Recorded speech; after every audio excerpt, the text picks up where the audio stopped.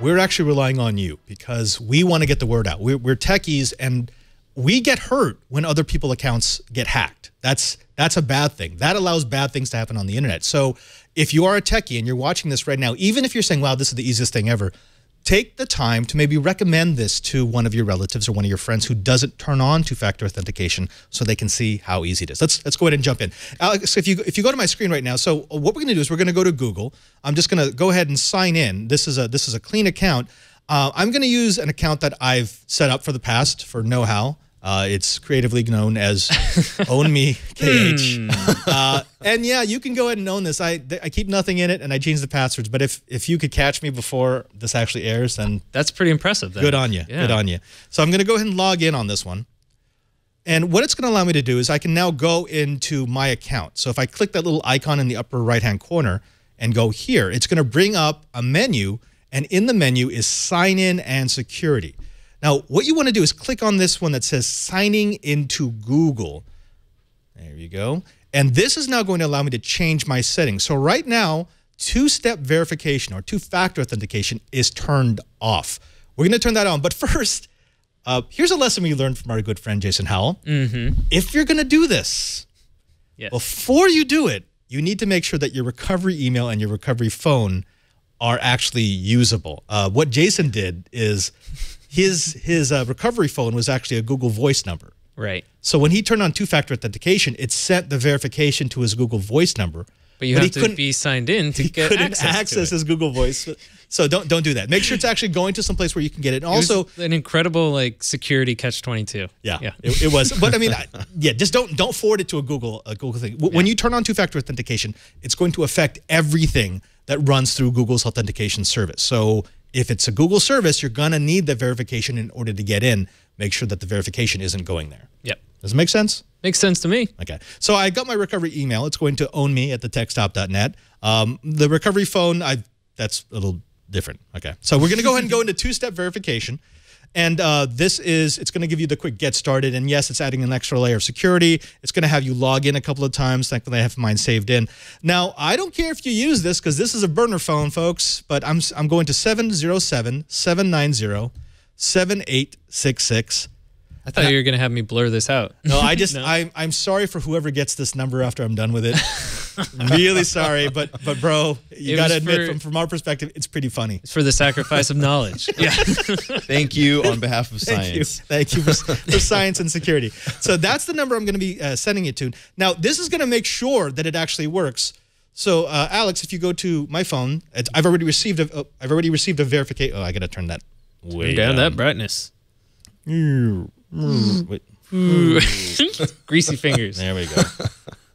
Okay, so I've received a Google verification code and it's 243748. I'm okay with showing you that because that's going to change every time. That's not yeah. a static number. Yeah. That's every time you sign out or sign in, right? Precisely. So uh, I'm going to enter 243748 and there we go. All right. So now I get the option to turn on and boom. Everything that is connected to my Google authentication services will now require me to verify through that second factor. So in other words, if I want to log into uh, groups, uh, Google Groups, if I want to log into, oh, sorry, uh, Google Plus, if I want to mm -hmm. log into YouTube, if I want to log into uh, do they still Google Calendar, Google Hangouts, Calendar. yeah. Any yeah. of that is gone, but Google Photos. Precisely. Yeah. Now, here's the thing: it after you log in the first time and you've authenticated that as a trusted device, you won't have to do it again. Right. Because it'll recognize your laptop or your phone or Precisely. Chromebook. Or I think whatever. you can do. You tell it remember this device for 30 days. Yeah. yeah. then it yeah. will expire. Because you do want it to eventually expire. And actually, I'm going to show you a, a way to, to expire that on a regular basis. Because what, like for example, every time I go to a conference, mm -hmm. the first thing I do when we finish and I get back to my hotel room or my house, I delete all trusted devices. Yeah. It's just, it's, you know, you just get, get used to cycling everything out because mm -hmm. eventually that pile of trusted devices gets a lot bigger than you want it to be. Yes. Okay. So two-factor authentication is turned down, turned off, uh, turned on now, which means I'm going to need that verification of this phone every time I want to log in.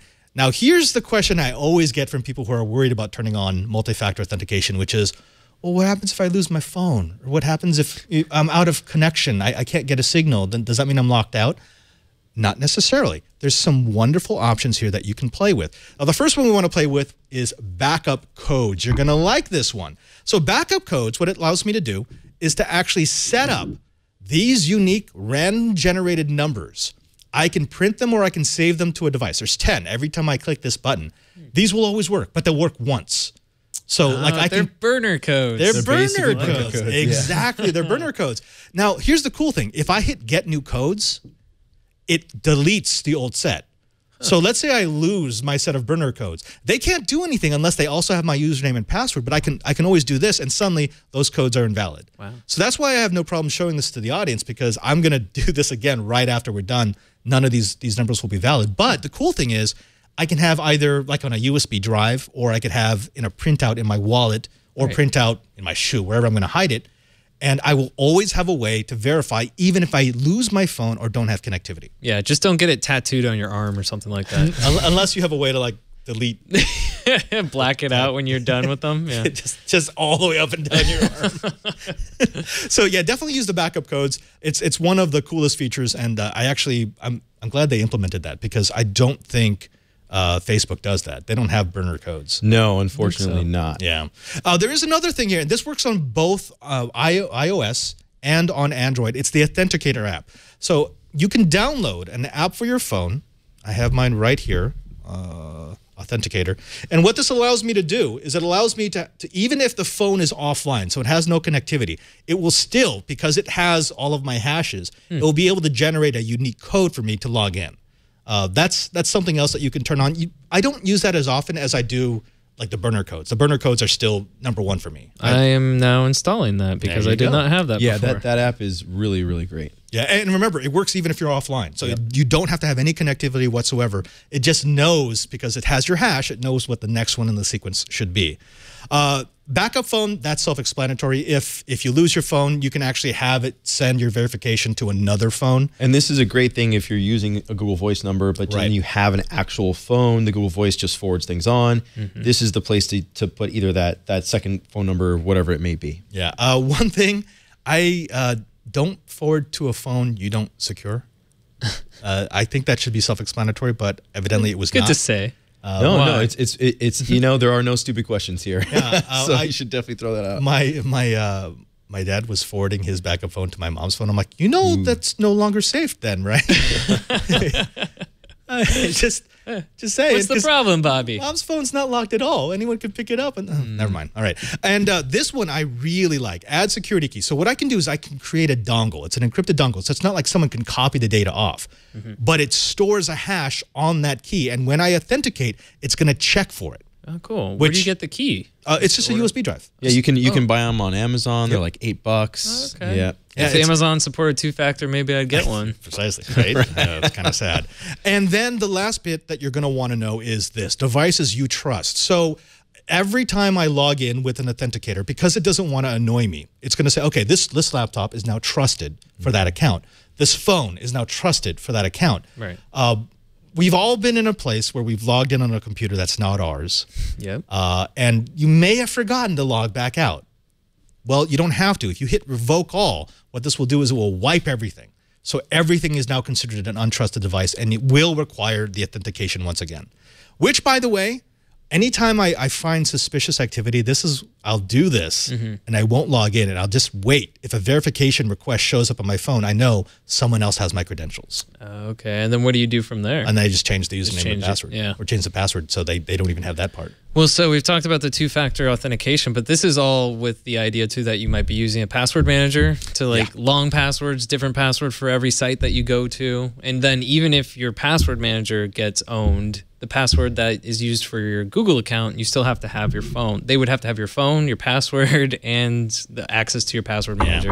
And, And access to get into your phone because your phone's going to be Right. secured too, So we're talking layers of security. Yeah, and, and this is not bulletproof by any means because I can intercept text messages. I have the equipment to do that at home. Right. Especially if I can do something like downgrade them to uh, you know a 2G connection. Are you talking about a Stingray that maybe yeah, the maybe a little stinger. yeah if, if I can do that, then then scraping off the text messages is trivial. Yeah. But you're not trying to have bulletproof security. You're trying to have security that's high enough that people go, "That's eh, not worth it." I'll yeah, you don't want to be the low hanging fruit. Yeah, yeah. That, that we, that's what we should call this. This episode is sponsored by low hanging fruit. yeah, like every episode.